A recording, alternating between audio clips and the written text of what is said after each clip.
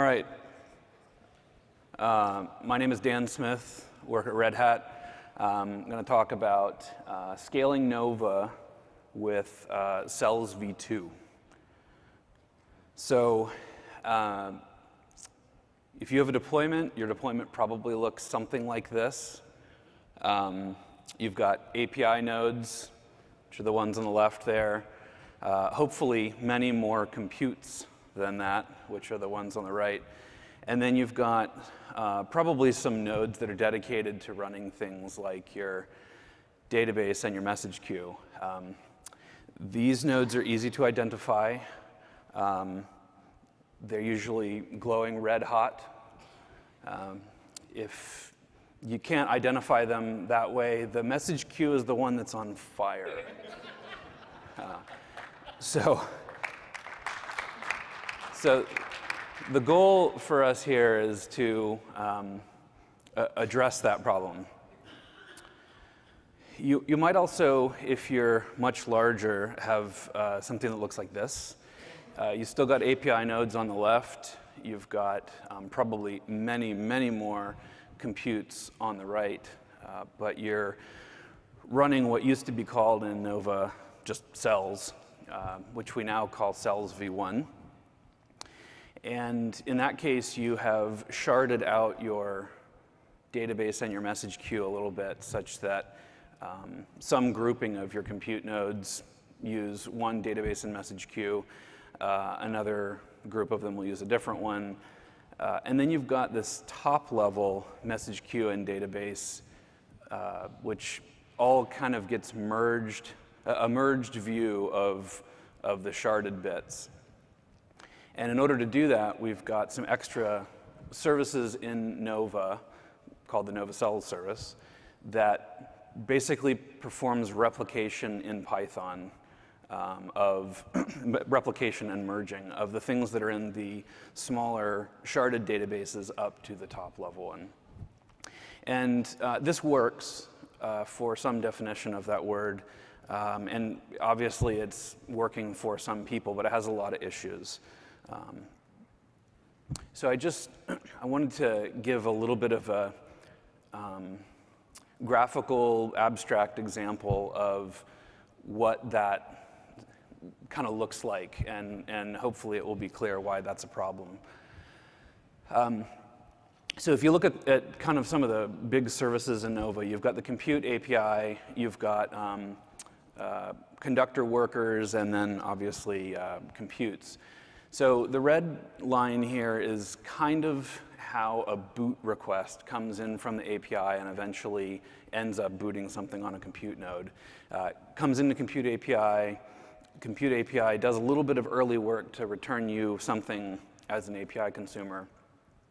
And then it asks conductor to do some of the longer running things, like asking the scheduler which compute that should go to and various other things. And then finally, conductor, once it has selected a compute, tells the compute to get busy. Um, other requests come into the compute API and go straight down to compute for like an instance that is on a compute node. We can look that up and make the call direct.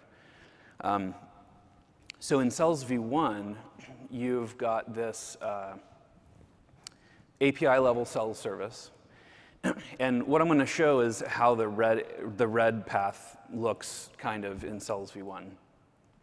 So we hijack the request, quite literally, in Compute API, and we send it over to the Nova Cells service.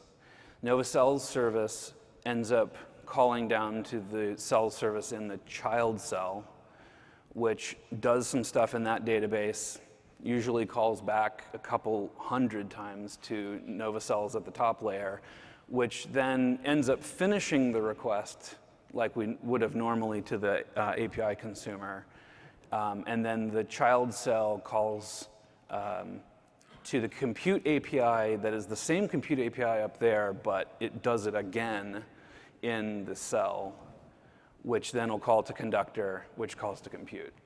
So this um, gray path is really problematic because it's totally different if you're running in cells v1. So we've got some problems, um, both with the flat deployment and the current cells v1. Um, the database and the message queue have to scale with the number of compute nodes if you're flat. That's a problem. Many people I've heard talking about various things um, scale related here have you know, identified that as a huge problem. It's usually the message queue that gives up first. Um, we also have some reliability issues in that if you have that single flat deployment, you are dependent on keeping that one database and the one message queue up for anything to work. Um, and so you have no alternative other than HA and pray for those nodes. And especially Rabbit, when you put it in that mode, the amount of traffic it's able to handle comes way down when you're replicating everything in a, in a Rabbit cluster. Um, another big problem if you're on Cells v1 is there is no future. Um, Cells v1 is barely tested, it's rotting in tree. Um, it doesn't support all of the features of Nova, and when I say all of the features, I mean it doesn't support most of the features. Like, you could make the argument that it doesn't support flavors. Um, you kind of have to handle flavors on your own in order to make it work. It's a real problem. So from our perspective, the developer perspective, um, the different code paths thing is just not like supportable. Um, and, and, it's why we don't really support Cells v1 right now. Um, it, it's just, it's completely alternate code paths. Almost everybody is not running through that alternate set except for the big guys, which we would like to keep online. Um, and then, you know, another problem is we like to have a consistent API, ideally. And there are there are really scary things that behave totally different in Cells v1 where you expect a, a lock operation on an instance to have completed when it returns, and it does in the flat deployment, and it doesn't in Cells v1. Uh, it's, it's really bad. So what we need to do is build the scaling approach into the core of Nova, right? So that everybody is running the same code and that Nova itself can scale without bolting this thing on. So the approach that we've got uh, with cells v2 is to still shard the message queue and the database um, along whatever lines you need to to kind of make that reasonable. Um, but instead of replicating everything up and merging it into a top level database so that the API side of Nova doesn't need to know that that's going on, we just need to teach the API that Nova can be sharded natively instead of the bolt-on approach. So what we've got in Cells v2 is teaching API that instances are on a compute node, a compute node is in a cell, and a cell is associated with a database and a message queue. And so when we go to take action on an instance um, or even on a host, we look that up and just as part of the normal path, we, we connect and send it to the right location. So one really nice thing about this is that um, if you're a small deployment, this is just the flat right? This is the flat approach that you had before. You've got one database, one message queue, one set of compute nodes that use it, um, and all the APIs point at it. And if they already know how to do the switching and there's only one thing to switch over, it's exactly the same for all intents and purposes. It makes it really easy to grow and just add another one of those things, put another record in the database that says I now have this other grouping over here, and move on. And in Cells v1, you really have to have planned from the beginning that you're going to be large enough to run Cells v1. It's the reason that people don't run Cells v1 if they're only a cell of one, because they lose a bunch of features, they have to run a bunch of extra stuff, they have all the problems and none of the benefits. And if we build it into the native core, then growing naturally becomes much easier. So some benefits of this, um, there's always benefits and always caveats. Um, we have a little bit better story around fault domains. Um, we have a database and a message queue that are critical for the compute to continue operating and for requests to come into those computes that are organized, sharded, and separate. Um, that means that if you lose one of those um, database and message queue servers, you might lose the ability to talk to um, a bunch of computes. They might lose the ability to update some of their accounting information, but the other groups should be unaffected. Um, in order to do all of this, we still have um, a small database and, at the moment, a message queue up at the top, but it's only used really for um, recording indexing information, which is where do the things live. It's really small, it's really replication friendly, um, fast and, and easy to HA. It's so much less data than in Cells v1 where you have merged your entire cloud into one database at the top. Um, Performance-wise, you've got fewer computes per message queue and per database, which means the message queue and the database server don't need to be as capable um, because there's just lower traffic. The memory usage is, is lower. Um, and if you need to HA those, you can do that at a much more sane level because you just don't have the traffic, right? If you, if you make the message queue HA, then you, you, you, the amount of traffic that you can handle is so much lower. But if you split that out so that it is lower because it's a smaller set of computes, then it's more reasonable to do that. Uh, and then there's some organizational benefits. Um, you might decide that um, you've got some very expensive compute nodes that um, you bill at a much higher rate that do have a HA database, an HA message queue. Um, you've, you know, you've got big machines to, to run those things so that you can run them in HA. It's expensive, but people pay for it because they know that um, the, the availability of accessing their instances that are running in that cell is, is uh, very good. Uh, on the other hand, you may have some cheap computes that you don't HA, the MQ and the database, and maybe these are your you know, dev nodes, your um, pre-prod, something like that, or you're just selling them to customers at a lower rate because they cost less to run. And that becomes possible if you've sharded this out, whereas if you've got the flat deployment, you if you want any of it to be HA, it all has to be HA. Um, it also means that you can bring on a, a new grouping of, of, compute nodes as a cell in whole. You can actually kind of um, set up a, a, cell of compute nodes, put a temporary API in front of them, do all your testing and burn in, and then kill that off and just plug that cell into the, the, the main deployment. Um, the, the, the cell is independent of the rest of the, deployment enough that that's a totally reasonable thing to do.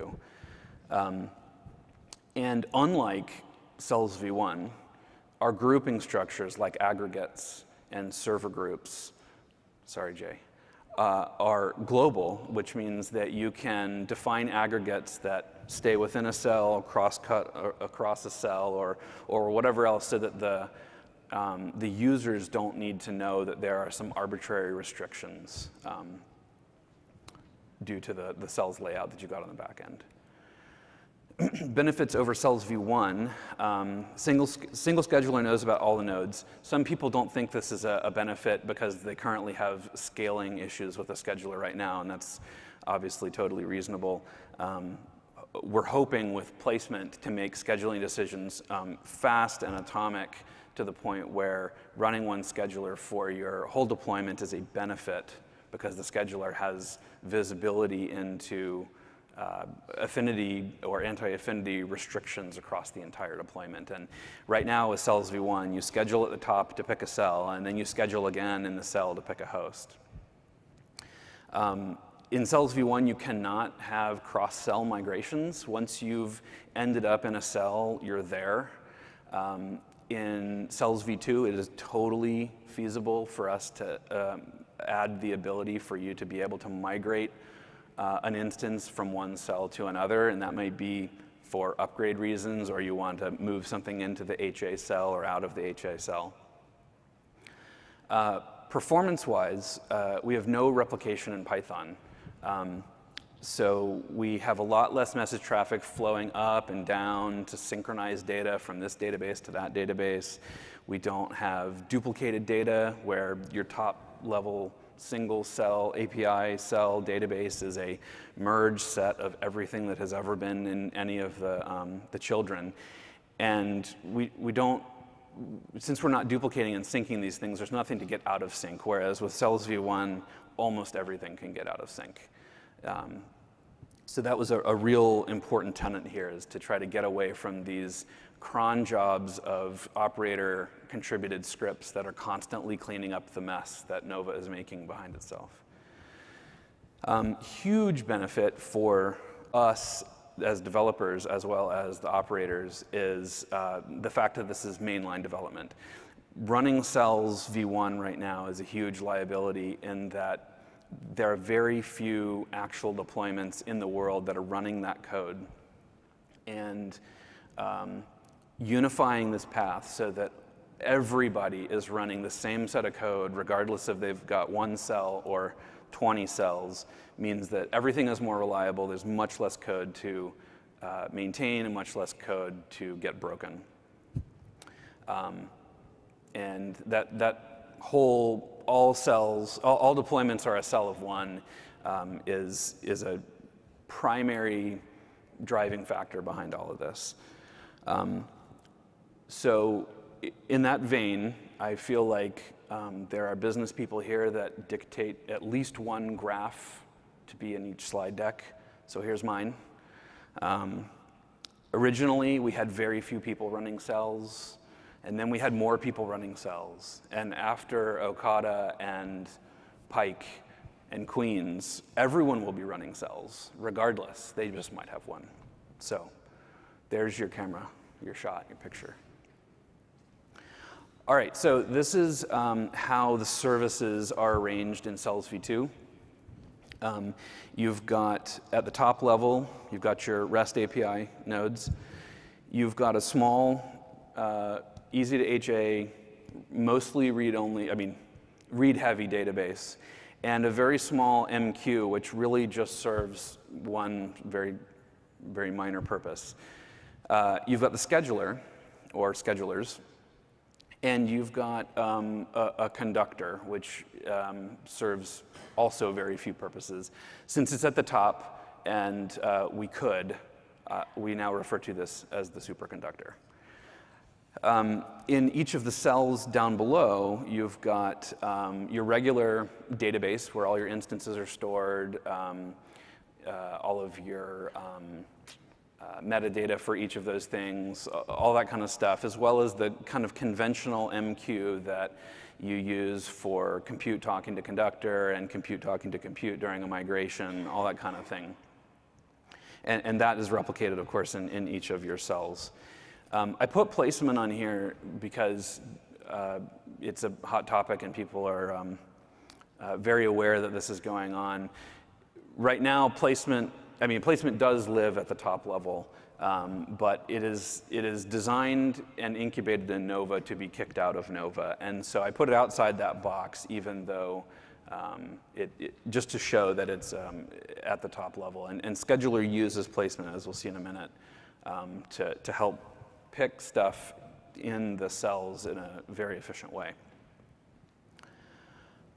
So for a boot, type operation, uh, you've got API taking the request from the user, and it creates in the top level database really just a record of the fact that I've told the consumer, the, the API consumer that uh, I'm going to create an instance and I told them that the UUID is this. And it asks the superconductor to do that long running process that that a, a, boot requires, which talks to the scheduler, talks to placement, and various other things. Superconductor picks a compute node, not a cell. It picks a compute node which dictates which cell it's in, and it calls directly down to the compute to start the build just like it did before. It's literally just the same conductor code, but aware of all of the nodes, calling to compute as it did before.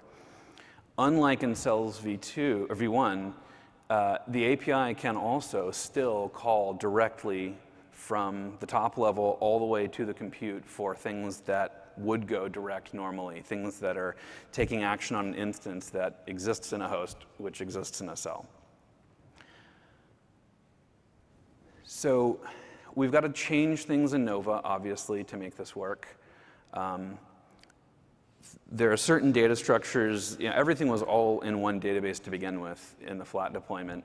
Uh, some of those data structures are necessarily global, and therefore they get moved out of what used to be the main database and what is now the cell database up to the top level database. So these are things like flavors, aggregates, and key pairs. Um, and again, like I said, these don't change very often, right? Um, hopefully you're not creating flavors at approximately the same rate that you're creating instances. Um, and users can create key pairs, but it's not it's not super heavy, and even still key pair is a, a very um, small string. So we have to move those things to the top so that the API can access them. And then we, we bundle um, the things that need to go with an instance with that instance when we make the call down. So it used to be that we referred to the flavor that an instance was booted with by ID, which uh, means they have to be in the same database, but it also had other restrictions like you could change the flavor later, um, and then the instance is claiming to be booted by a flavor that does not actually represent what it is. Um, and so that, that has another you know, kind of general benefit of keeping that information with the instance. But by doing that, we can then move the instance down into the, into the main database and not have to have this linkage between the flavor that lives at the top and the instance that lives in the bottom. Um, and that really was the reason that flavor syncing had to happen in Cells v1, right? You had to have um, the flavor in the top level database because you had all of that mirrored and linked. And you had to have the flavor in the bottom database because it was also down there and linked. And anything that you had to do had to load the linked flavor. And, and so if you've ever run a Cells v1 deployment, you know that you've got to keep those things in sync or bad things happen.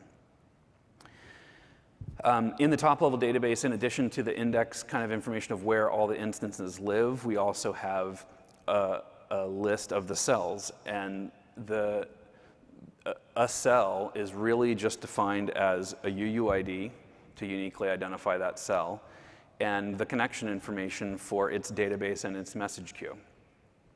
That's all the more data structure we need to identify something as a cell, as a grouping of computes.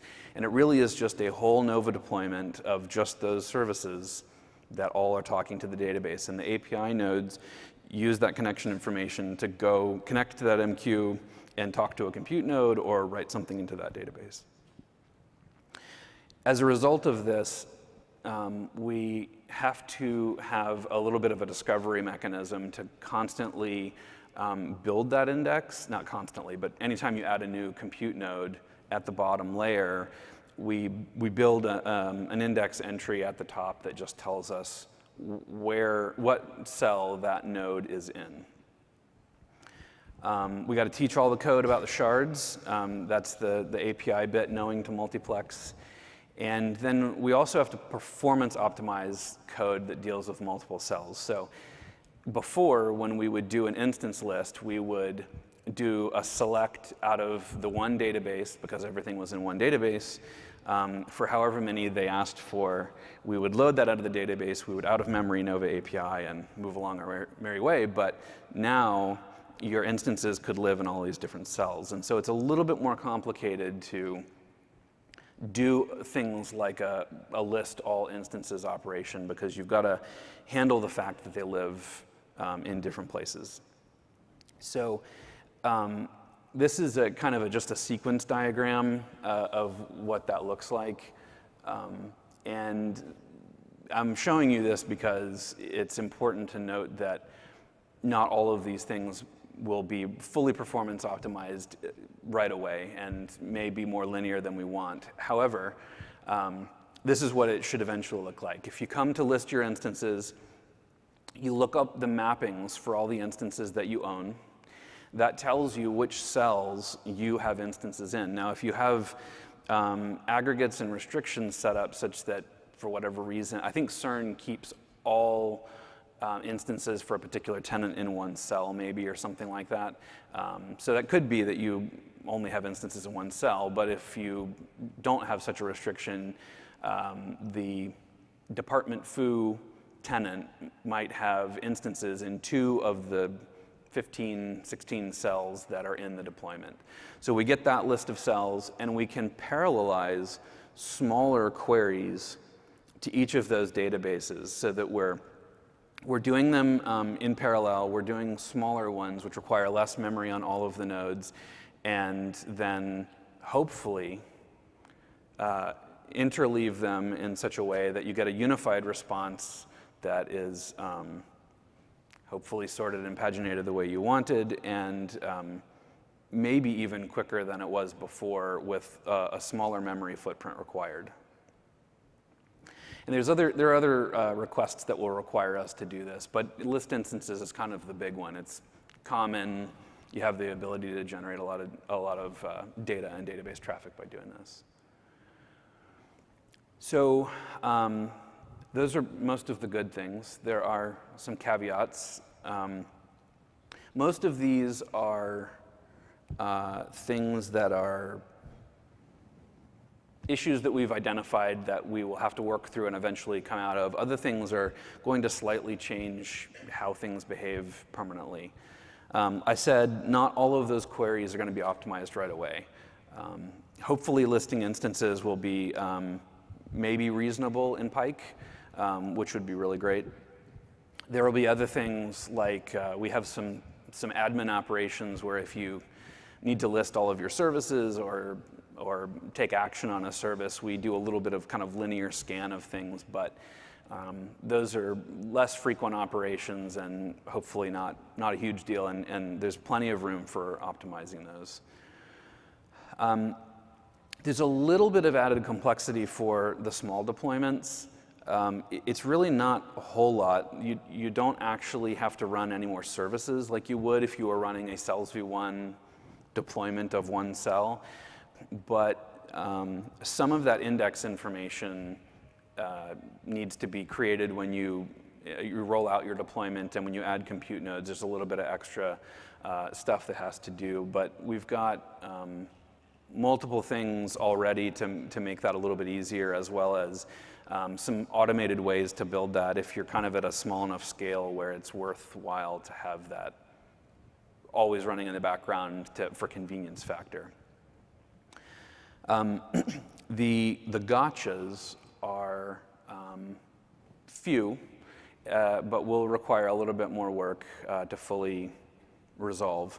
Um, one thing that we're really trying to avoid is the cell knowing anything about where it fits in that topology. And that makes it very convenient from an organizational point of view where you can, you could, you know, detach a cell from a temporary API deployment and attach it to your production as you bring things online.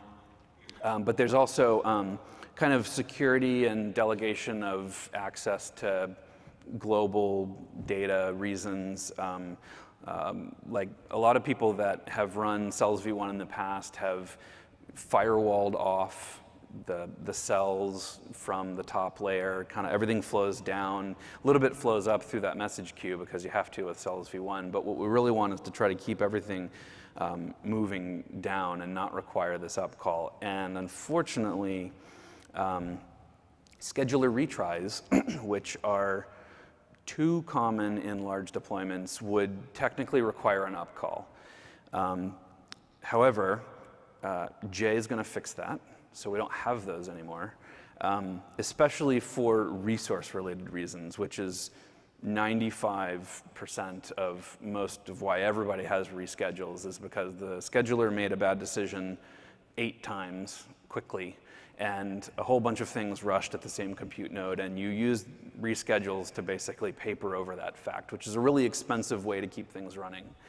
And um, so hopefully with that, with placement, we will no longer have uh, nearly the number of scheduler retries such that um, we can handle the few that we have for unexpected failures with a, a more constrained model that, that fits within our topology. Um, another one is the, the late binding affinity check that we do, which um, is also, I'm, I'm quite sure that there's a note Russell B, this is a total hack comment above that line. Um, but it was added in Icehouse, I think, when we added server groups. And basically, the scheduler makes bad decisions constantly. And so even if you've asked the scheduler, I want affinity or anti-affinity to this other instance, once you finally reschedule your way to a compute node, you may be violating that policy. And so compute calls back up to the top level and basically asks for a sanity check once it's landed on a compute node. And um, that also can be solved by placement before we've started burning any resources, and, and therefore that one will go away as well.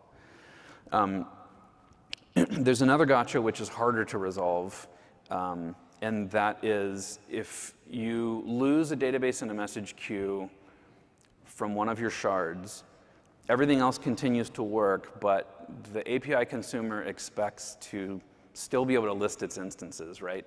Um, and we won't be able to do that because that database has gone down. The API nodes can handle that fact, but they kind of need to show something to the API consumer so that the consumer doesn't say, huh, I lost 50 instances, I guess I'll go recreate those, and then them have them you know, pop back up once the server comes back.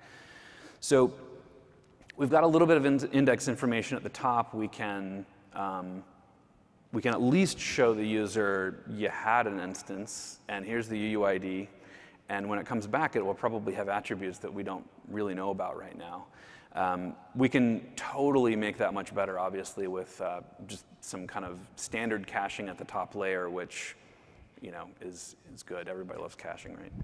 Um, but in, at least initially, that's going to be a, a little bit of a gotcha. Um, most of the people with Cells v1 deployments tend to think that if, or have told me that if a whole cell goes offline, they, they probably have bigger issues. Um, but it is, a, it is a thing, so. Okay, so um, I, this is the uh, service arrangement again. I just wanted to um, revisit this. Um, this is where placement kicks in. Um, at the top layer, scheduler calls to placement, which ends up having all of this topology information uh, well, not topology information, but all, all the information of everything below it in the topology so that you can pick compute nodes very well. And this is what an up call looks like. So this is what we're trying to avoid, which is something in the lower layer needing to call back up to something at the top layer. And, and uh, you know, it's security reasons, but also we don't want the lower layers to have to have credentials and connection information for the things at the top and we don't want them to know where they fit into the, into the arrangement. Um, and then I wanted to point out that if you've got, th this is a multi-cell service arrangement, which looks much more complicated than a flat small deployment if you've got one. But really, these are the only pieces that are required of all of that if you've only got one cell. You don't need a superconductor. You don't need an extra message queue up at the top. You, you need APIs regardless. You need a, a scheduler regardless. You do have that small um, read-only or read-heavy uh, database at the top, but you know it's just another. It can be another database in the same machine that your main database is in. So this is really not much different than the way a flat regular Nova deployment looks right now. So it's really not that much more complicated for the small people. And then you go from this to a multi-cell much easier. So there are migration hurdles.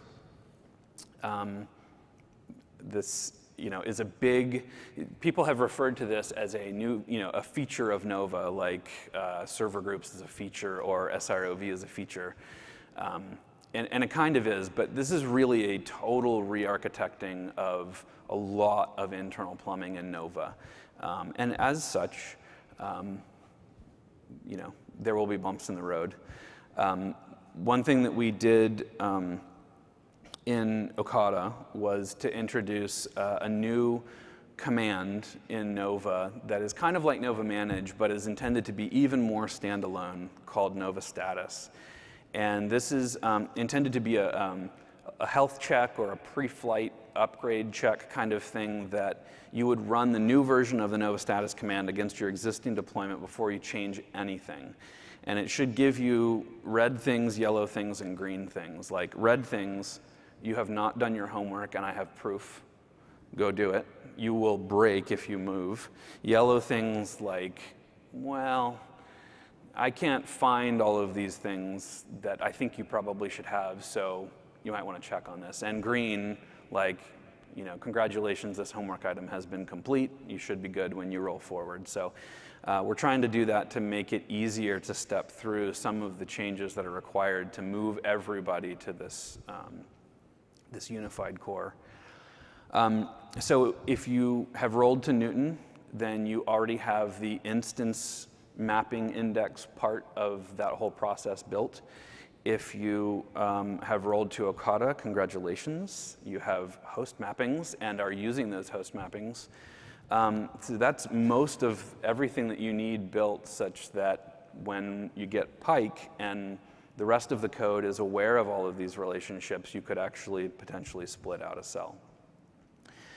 I will point out, because multiple people have hit it, that um, new hosts getting added do require this discovery process to be run to add a new index for that host map, that host to the top level, whereas before, Nova compute nodes were very auto-registry. You just start one up and it plugs in.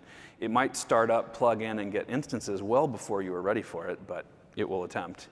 Um, so you can run that manually um, at the end of like your deploy step, which is a, a, really easy way to do it. You know, if you're bringing on a new compute node, you just run that discovery step and it will pop one in there. And there's a couple of other ways that you can run it automatically, such that it's just kind of constantly checking for new, new hosts and you have a little bit longer delay than the current couple of minutes or whatever uh, before that gets made. Um, make sure you're up to date on your online data migrations because you know this whole process was moving things from here to there so that we could drop compatibility and expect separation. Um, now that Chet's gone, I can say sounds like Chet has not necessarily been doing all his homework every time.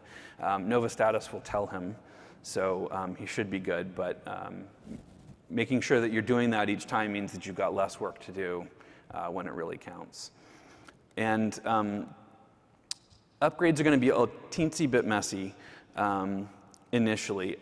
Um, right away, if you want to do a, a, fully live upgrade, you're going to have to do a little bit in each cell, and then a little bit in each cell, and a little bit in each cell, which is exactly the way live upgrades work right now with flat deployment, but kind of that activity will be striped across them. Um, eventually, what we'd really like to get to is upgrade a whole cell, upgrade a whole cell, upgrade a whole cell, and then roll your API to enable all the new features that now everything underneath it can take. And um, especially if we have cross-cell migration, that will make it much nicer in general um, to upgrade chunks of your, your infrastructure. So um, Belmiro and a couple other people are thinking, what if I'm on cells v1 right now? All of this migration path stuff sounded like it was related to the flat deployment. And I'm sorry to say, you guys are in big trouble. But not really. So this is what cells v1 looks like, again, right? We've got this replication process. We've got the sharded database um, and message queue. This is actually very similar to the way cells v2 looks, except that you don't have this top level, completely hyper-converged uh, database with everything in it. But everything, all your data is already sharded. So what we can do is we can take away that replication process. We can take away the converged, merged, top-level unified database, and then install the records that the API needs to access the already sharded data. You're basically just throwing things away from your Cells v1 deployment and teaching the API nodes where to find the things that were already separated. And then the final note that, yes, there's still an API database and a small message queue in this, obviously, but it's not the super converged, uh, big merged thing. So that's the plan. That will not be baked in Pike, but we're really hoping that people that are already running Cells v1 right now will help test, prove out Cells v2 in um, pre-prod, that kind of a thing, to help us make sure that this process is bulletproof and you know, doesn't take down GoDaddy because all our websites run there. So that is all I had. 40 minutes and seven seconds.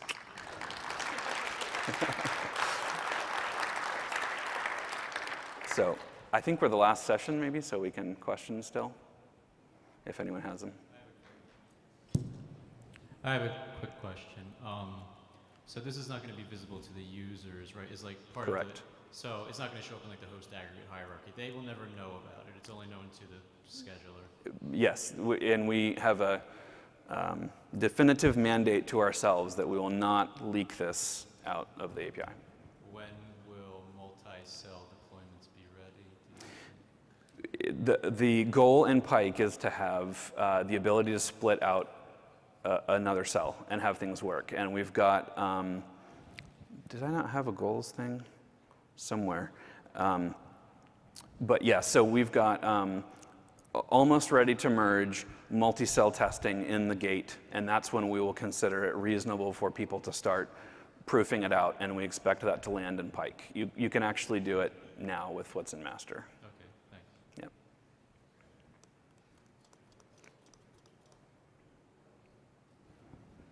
Good question. So what does the uh, conductor in the individual cells do? The conductor in the cells um, handles things like coordinating um, migrations between compute nodes like it does today. It handles isolating the compute nodes from the database schema like it does today.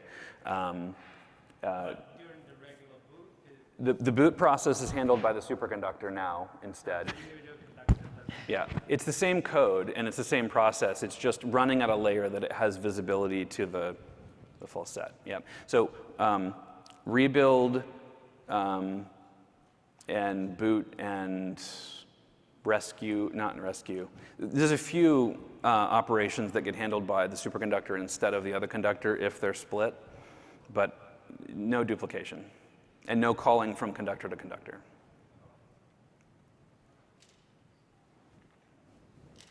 Um, First, I, uh, I definitely has an impression of the cells version 2 as a design is uh, cleaner and simpler than the, than the version 1. So my question is, do you have any metrics numbers compared to the, uh, to the, uh, some kind of a scalability, like the maximum, the upper limit of the, virtual machine or the host cells version 2 can manage? Uh, I think that that is probably going to be very similar to the, num- the magic number for cells v1 because you're still you still got kind of the same level of traffic in the sharded databases. So um, I just watched a presentation from someone from Mirantis that was doing a- single unified kind of theoretical thing and was I mean, there are, there are flat deployments today that do a thousand compute nodes, right? And so, kind of maybe theoretically you could hit that. But I think that most cells v1 people do like 300 or less in a cell today. Is that right? Yeah. So it's about 300 nodes? Uh, It's a one cell? I'm sorry, I didn't. I think it will be similar to what it is today for cells v1, which in practice is usually about 300 per cell. Okay, thank you. Yeah. I had a question related to Neutron. Um, Let me get you a neutron person. Hang on.